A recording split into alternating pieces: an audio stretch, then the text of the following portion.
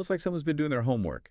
Agile teams, Andy's emotional intelligence. Someone's ready to take their team to the next level. It's really interesting how much people focus on the tools and processes of Agile Right. and kind of forget that at the end of the day, yeah, it all comes down to people. absolutely. And we're not just talking about being nice here, right? Right. We're talking about emotional intelligence, Yeah. or EI, as the cool kids call it. Uh-huh. This is about a set of skills that can actually help you communicate better, manage stress, Right. and even navigate those uh, those tricky team conflicts that always seem to come up. And imagine having that in the fast-paced world of agile. Exactly. It's like when you think of Agile as this system that's constantly changing and adapting, Right. EI is like the oil that keeps the whole thing running smoothly. Of that. You know, we talk about the core values of Agile. Yeah. Focus, courage, commitment, respect, openness. Right. EI actually amplifies each one of them. Oh, okay. Now I'm really interested. So give me an example. How does EI boost, let's say, courage in an agile team? Well, let's say you have to give some constructive feedback to a Yeah. teammate, maybe on something they could improve in their code. Okay. That takes courage, right? Oh, yeah, for sure. With high EI, you can deliver that feedback in a way that's honest and direct, but also empathetic. Okay. So you're focused on the behavior, not the person, mm-hmm. and that makes a huge difference. Oh, I see what you mean. So it's not just what you say, Yeah. but it's how you say it. Exactly. And really understanding how the other person's going to receive that message. yes. Okay, so let's break it down. Okay. What exactly IS emotional intelligence? Well, it's about understanding and managing emotions, Okay. both your own and the emotions of other people. All right. So it's being self-aware, knowing how your emotions influence your actions, Right. and having the ability to kind of keep those emotions in check, especially when things get tough. So there's like a strategic element to this. Oh, absolutely. it's not just about like, you know, touchy-feely stuff. Yeah. It's about being strategic. Exactly. Okay. It's about how you interact with others. Imagine you're in like a really heated sprint planning session Oh yeah, I've been there. and someone on the team gets defensive, you know, the tension is rising, you can feel it. Yep, I've been. Someone with high EI would be able to read the room, Uh-huh. de-escalate the situation, Right. and bring everyone back to, you know, focusing on the task at hand. Wow, that's impressive. Mm-hmm. Okay, so that's self-management, right? Yes. But what about understanding the emotions of other people? Is that what people call reading people? That's exactly it. That's social awareness. Okay. It's picking up on those nonverbal cues. Yeah. You know, the tone of voice, body language, Mhm. and figuring out what's really going on. Like noticing when someone's feeling overwhelmed, Right. even if they're not saying it out loud. Exactly. Okay, that makes a lot of sense. Yeah. So you're basically like tuning into the emotional undercurrents of the team. Right. But once you've read those signals, how do you actually respond effectively? That's where relationship management comes in. Oh, okay. It's responding in a way that shows that you understand, Yeah. you see them, Right. empathize with them. So maybe that's offering support, maybe it's asking clarifying questions, Right. or sometimes it's just acknowledging their feelings. Wow, this is really fascinating stuff. Mm. I'm curious though, where did this whole idea of EI even come from? Like, did someone just wake up one day and say, hey, feelings matter? Well, the term emotional intelligence Yeah. was really made popular by Daniel Goleman Oh, yeah, Goldman. back in the mid 90s. Mhm. But the idea that, you know, intelligence isn't just about IQ Right. had been around for a long time before that. Yeah, that makes sense. But Goleman really put it on the map, right? Exactly. And what's really interesting is that he actually argued that EI can be even more important than IQ right? when it comes to things like leadership Yeah. and teamwork, especially in a field like agile development, which is all about, you know, People. exactly, people working together. Yeah. Okay, let's go back to that courage example for a second. Okay. Talked about giving feedback, Right. but how else does EI boost that courage in agile teams? Well, think about speaking up Yeah. in a sprint review. Okay. Even when you know your perspective might be unpopular. Oh, yeah, that's tough. That takes guts, right? for sure. But with high EI, you can voice your concerns constructively, you know, Mhm. manage your own fear of rejection, Right. and present your ideas in a way that actually invites discussion rather than defensiveness. So you're not just like blurting things out. No. You're really Mhm. being thoughtful about how to frame your message Exactly. to be both honest and respectful. Yes, you're aware of the impact that your words will have. Right. And you're using that awareness to communicate effectively, Even when it's a tough conversation. especially when it's a tough conversation. This is really making me rethink how we approach team dynamics. So, okay, we've established that EI and Agile are like a match made in project management heaven. Right. But let's get practical. How does this all actually play out in a real Agile setting, like day to day? Well, one of the most obvious areas is in team communication. Okay, Think of communication as the lifeblood of any agile team. right. It's constant, it's essential, yeah. and with EI, it just flows smoother. Okay, tell me more. Tell me more. How does EI impact communication in Agile teams? Well, first of all, when team members have high EI, Mm-hmm. they're more likely to be clear communicators, Okay. but also active listeners. Yeah. They're less likely to jump to conclusions Right. or get defensive if someone challenges their idea. So that means fewer misunderstandings, Exactly. less time wasted on those arguments that go nowhere, Yes. and more time spent actually getting things done. Exactly. I like it. And because they can see things from different perspectives. Right. High EI individuals are also much better at handling conflict constructively. Okay. You know, they can empathize with different viewpoints Yeah. And they can find solutions that work for everybody involved. So imagine like a sprint review where instead of everyone blaming each other, Right. the team can openly discuss what went well, what didn't go so well, Exactly. and how to improve for next time. yes. That's got to be a game changer. Oh, absolutely. And when people feel heard and understood, when those conflicts are addressed fairly, Mm. it creates a much more positive and supportive team environment, Yes. which of course has a huge impact on team morale, Of course. which in turn leads to happier team members, better collaboration, Mm-hmm. right. and ultimately higher productivity. It's a win-win all around. A win-win. Okay, I'm convinced. I'm on board. Good. But let's talk specifics. Okay. What are some of the tangible benefits, the real-world outcomes Uh-huh. of having high EI in an agile team? Well, the research on this is pretty clear. Teams with high EI see improvements in several key areas. Okay. Things like better conflict resolution, for one, Uh-huh. obviously boosted morale, Uh-huh. enhanced productivity, and this is a big one. Not bad. And perhaps most importantly, they develop greater resilience, which is essential in the world of agile development. Okay. Yeah, resilience is huge. It is. I'm really curious to break each of these benefits down. Yeah.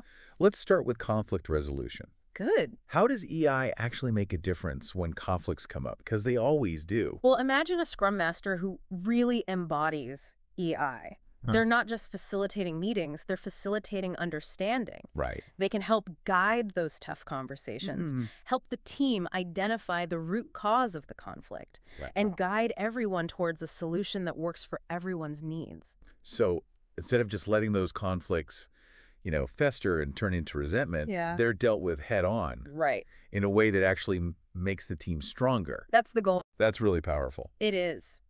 Okay, what about boosting team morale? Well, when team members feel understood Right. and appreciated, Yeah. their morale naturally goes up. It makes sense. Right. And an emotionally intelligent leader knows how to create that kind of environment. Exactly. They celebrate those achievements, hmm they offer constructive feedback, Yes. And they provide genuine support hmm during those challenging times that, you know, always happen. Always happen. It's not always about the big things, is it? No. It's those small gestures of empathy and understanding hmm that can make a huge difference for team morale, Yes. especially during those tough sprints when everyone is feeling the pressure. Absolutely. You know, that reminds me of a time when our project just hit a wall Oh, yeah. and our team lead, she just took the time to acknowledge how hard everyone was working. Oh, that's great. Even though we were all totally stressed out. It Mm. sounds so simple, but it made a huge difference. It really does. Sometimes it's not about, you know, making these big speeches. Yeah. It's those quiet, consistent actions Exact. that really speak volumes. Yes. Okay, so I'm totally on board with the morale boost. Good. But how does all of this emotional intelligence Oh, yes. actually translate into increased productivity? hmm Because at the end of the day, Yeah. we've got to deliver, We do. right? We've got deadlines, we've got clients. And that's where EI really shines, actually. Okay. When a team is emotionally intelligent, they're better at using everyone's strengths Mm-hmm. and assigning tasks accordingly. Oh, I see. It's about understanding what motivates each person, Ah. what their preferred work style is, Yeah. and setting them up for success. So you're maximizing individual talent Yes. while still keeping those big team goals in mind. Exactly. It's like a well-conducted orchestra. I love it. Every instrument has its part. Right. And the result is beautiful music. Yeah, beautiful music. I like it. And speaking of challenges, Yes. Agile teams are constantly having to adapt to change. So hmm how does EI help them, you know, weather those storms, navigate those choppy waters? Well, I think the key here is that EI gives team members the tools to manage stress, Okay. stay motivated, Yeah. and bounce back from those setbacks, which are inevitable. Right. So they're less likely to just get overwhelmed or give up when they hit a roadblock Right, which happens all the time. all the time. So instead of falling apart under pressure, hmm they can actually thrive in Mm. that fast-paced, always changing environment. Exactly. That's pretty incredible. It is. It's about turning those challenges into opportunities to grow, Mm. both individually and as a team. But here's the thing, right? What's that? Developing EI within a team, it's not a one-time thing. Yeah. It's a journey, right? That's a journey. it's ongoing. Exactly. It takes time, effort, Yeah. and a real commitment to continuous learning. So where do we even begin? Mm-hmm. How do we put all these EI principles into practice in our agile teams? Where's the starting line for this journey? That's a great question. Yeah. And it's one that we will dive into right. in the next part of our deep dive. Oh, can't wait. So, to build a more emotionally intelligent team, Okay. I think it really starts with awareness. Okay. The team has to understand what EI is, Yeah. why it matters, Mm. and how it can benefit them. So education is like the first step. Exactly. Maybe sharing some articles Right. or even having a team discussion dedicated to EI. Exactly. There are tons of resources out there. Right. And just starting the conversation Yeah. can get people thinking about it. That makes sense. But okay, once everyone is aware of EI, Yeah. how do they actually start, you know, right. developing those skills? Well, it's more like developing a muscle. okay. And I think one of the best workouts is self reflection, Self-reflection. encouraging team members to step back Hmm. And examine their own emotions. Okay. You know, their triggers, their strengths, their weaknesses. Right. That can be incredibly insightful. So that's like journaling Yeah, or just taking a few minutes at the end of the day exactly. to think about how you reacted Mm. in certain situations. Yes. And it's not just about identifying the emotion, right? Okay. It's about understanding why you feel that way Mhm. and what impact those emotions might have Right. on your actions, on your interactions. I can see how that could be really powerful. It is. But I imagine it takes some practice. It, It does, does. to get to that level of self-awareness where you're really comfortable with it. It takes time. But the more you do it, the easier it gets. Right. Exactly, like anything else. Okay. So I'm on board with self-reflection. Good. What other tools can we add to our EI toolkit for agile teams?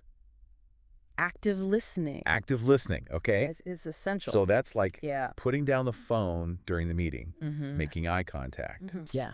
really focusing on what the other person is saying, Exactly. not just waiting for your turn to talk. And it's not just about the words either, Okay. right? Oh, yeah. What else? Pay attention to the tone of voice, Right. body language, Mhm. and the emotions behind the message. So what's not being said Exactly. is that. just as important Yeah. as what IS being Ab- said. Absolutely. And that reminds me of a time we were having a sprint retrospective, Okay. and one of the team members, he was really quiet Yeah. and withdrawn. Hmm. And our scrum master, she noticed this, Good. and she just, you know, she asked him, "Hey, what's going on?" right. And it turned out that he was just feeling completely overwhelmed with his workload. Wow. And just having someone acknowledge that Mm-hmm. made a huge difference. I bet. That's a perfect example, right? Yeah. Of how active listening Yes. creates that more supportive environment. Absolutely. It can really make someone feel seen and valued. It's so important. Okay, so we've got self-reflection. Right. We've got active listening. Yes. What else can we do to, you know, to boost that EI on agile teams? Leading by example. Oh, leading by example. Okay. That's crucial. If you want your team to embrace EI, Yeah. you have to actually model those behaviors yourself. Exactly. Actions speak louder than words, They really do. especially when it comes to emotional intelligence. So it's not enough to just talk the talk. No. You got to walk the walk. You have to walk the walk. Okay. Think about it. As a leader, you set the tone for the whole team. Right. If you're stressed out all the time, Yeah. you're reactive, you're dismissive of other people's emotions, Right. that's the culture you're creating. Right. So you're modeling that behavior. Exactly. But if you're calm, right. if you're approachable, yeah. if you're genuinely interested in how your team members are feeling, Mm-hmm. That creates a much more positive and supportive culture. Absolutely. And that's where EI can really flourish. That's where it thrives. Okay, I love that. Good. But even with the best intentions, let's be honest, Yeah. things don't always go smoothly, No. especially in the world of Agile.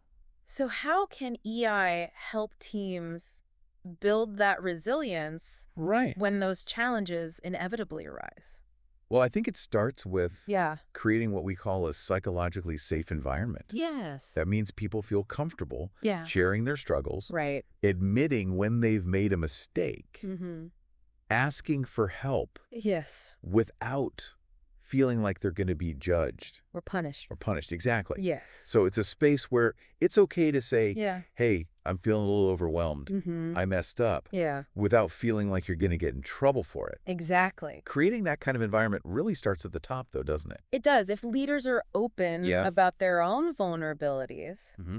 it gives everyone else permission to do the same. It's like saying, hey, we're all human here. Mm. We all make mistakes. Yeah. We all have those bad days. We do. And it's okay to ask for help. Absolutely. And when people feel safe to share their struggles, yeah. it opens the door for collective problem solving. Exactly. Instead of feeling like they're all alone, Right. they can lean on their team members for support. Mm-hmm. And that shared sense of responsibility Yeah. can be so empowering. It is. It's like saying, you know, we're all in this together Mm-hmm. and we're going to figure this out as a team. Right. And that's really the essence of resilience, isn't it? It's the Uh-huh. ability to bounce back, Yeah. learn from those mistakes, Uh-huh. and come out stronger. Yeah. But resilience isn't just about bouncing back, though, is it? Right. What It's also about preventing that burnout Okay. Yeah. Burnout is huge. in the first place. so how can EI contribute to, you know, Yeah. a more sustainable pace for agile teams? Well, emotionally intelligent leaders, Hmm. they're attuned to the signs of burnout. Okay. What are some of those signs? Things like fatigue, irritability, well- withdrawal, Mhm. decreased productivity. Okay. They know how to intervene before it becomes a big problem. So maybe that means encouraging team members to take breaks, Yes. offering more flexible work arrangements, Exactly. or just checking in regularly to see how they're doing. yes. And not just about the work, Right. but about how they're actually feeling. Absolutely. It's about creating that culture of self-care yes. where people feel like it's okay Yeah. to take care of their mental health, Mm-hmm. their emotional well-being. Exactly. Because let's be real, when people are feeling rested yes. and recharged, Uh-huh. they're much more equipped to handle those inevitable ups and downs Yeah. of agile development. For sure. They've got that reserve right. of Re- energy, yeah. of resilience you Exactly. can tap into. And it's not just about preventing the negative, right? Okay, so what else is it about? It's also about celebrating the positive, Okay. taking the time to acknowledge those accomplishments, Right. big or small, Yeah. can go a long way in boosting morale Yeah. and preventing burnout. So it's not just about putting out fires all the time. No. It's also about celebrating the wins, Yes. acknowledging the progress that the team is making. Absolutely. It's about creating that positive feedback loop Right. where people feel appreciated Hmm. and motivated to keep pushing forward, Yeah, even when things get tough. even when things get tough. This is all making so much sense. Good. We've talked a lot about how EI benefits individuals, Right. How it benefits teams. Yeah. But what about the impact on, you know, Right. the overall project, Mm-hmm. maybe even the entire organization? Yeah. How does EI contribute to those tangible results? That is a great question. And that's actually what we're going to explore we are. in the final part Yes. of our deep dive. Yeah. All right, so we've established that EI is like this superpower for agile teams. right. It helps with communication, resilience, morale. Mm-hmm. The list goes on and on. It does. But let's talk bottom line. Okay. How does all this emotional intelligence actually translate into results? Like, you know, Right. getting things done. Well, that's where you really start to see the magic of EI. Okay. Because when teams are emotionally intelligent, hmm they're not just working together. Right. They're collaborating. Oh, that's a good distinction. It is. Collaboration is at the heart of agile. Right? Absolutely. It's about working together effectively, Mm-hmm. sharing ideas, solving problems as a team. And EI really takes that collaboration to the next level. Okay, I'm listening. Think about it. When team members trust each other, Yeah. when they feel safe to speak up, to share different perspectives, when they can handle conflict in a constructive way, Right. That's when the real innovation happens. It's like those brainstorming sessions. Yeah. Where everyone's just bouncing ideas off of each other, yeah. building on each other's thoughts. Right. And suddenly you come up with this amazing solution that no one person could have thought of on their own. Exactly. That's the power of a high EI team. Right. It's not just a bunch of individuals. Right. It's a cohesive unit, a force multiplier. I like that. But collaboration isn't just about warm fuzzies, right? No, of course not. It has to lead to results. It does. And that's where we see the connection between EI and productivity. okay. Because when teams are emotionally intelligent, Right. they're more efficient. Yeah. They're more focused. Oh, okay. And they're more motivated to get things done. So that means fewer distractions, Right. less time wasted on drama, Exactly. and more energy focused on actually achieving those sprint goals. Absolutely. I can get behind that. and don't forget, high EI also means better stress management. Oh, yeah, that's huge. When team members can handle the pressure, Hmm. they're less likely to burn out. Right, burnout is a real problem. It is. So it's about creating a pace Yeah. that the team can sustain. And that's where the link between EI and trust is so important. Okay, tell me more about that. When team members trust each other, Mm-hmm.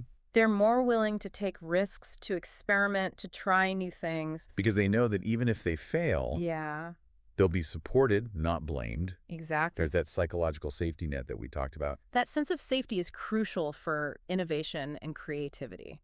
It makes sense. It lets teams push those boundaries Right. and come up with really groundbreaking solutions. So EI is not just about making people feel good. No. It's about creating an environment Yes. where they can do their best work. Exactly. It's about empowering people Hmm. to reach their full potential. This has been a really amazing deep dive. It has. We've covered so much from what EI actually is hmm to how it impacts agile teams in the real world. Yeah. Before we wrap up though, I want to make sure Yeah. our listeners walking away with, you know, s- some key takeaways. Yes. What are the most important things to remember? What are those nuggets of wisdom? Well, first of all, EI is not a soft skill. Okay. It's a critical success factor. It's not just about being nice. No. It's about being smart, Yes. about how you manage emotions. Absolutely. And remember, Yeah. it's a journey, It is. not a destination. It takes time and effort It does. to develop these skills. But it's a journey worth taking. oh, absolutely. The benefits of high EI are undeniable, right? Oh, yeah. Increased productivity, Mm. greater job satisfaction, Yes. a more positive work environment. It's a win-win. It really is a win-win for everyone. And one last thing to remember. Okay, what's that? EI is everyone's responsibility. Oh, that's a good point. It's not just up to the leaders Right. or scrum master. Everyone on the team plays a role. Everyone. So to our listener out there, whether you're a developer, a tester, a product owner, Anyone. You can start making a difference today. Maybe it's practicing active listening. Mm-hmm. Maybe it's offering support to a teammate who's struggling. Yeah. Or maybe it's just being more mindful of your own emotions right. and how they impact those around you. Every step you take makes a difference It does. towards a more emotionally intelligent And a more successful, and ultimately agile team. absolutely. So here's a thought to leave you with. What if your team could achieve more with less burnout? Just by tapping into the power of EI. Something to think about as you continue on your agile journey.